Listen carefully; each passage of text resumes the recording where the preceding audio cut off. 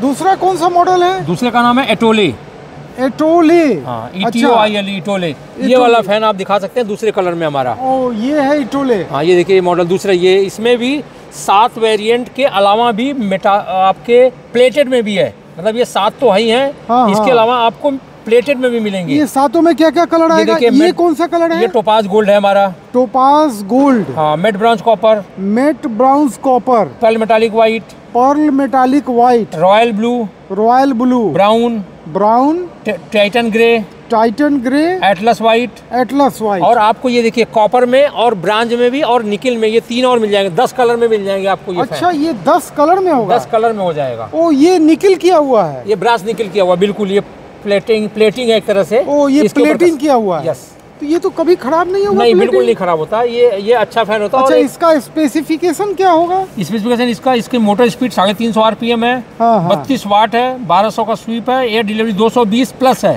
T हाँ D भी जो लोगों को नहीं पता होती है वो लेस देन टेन परसेंट है।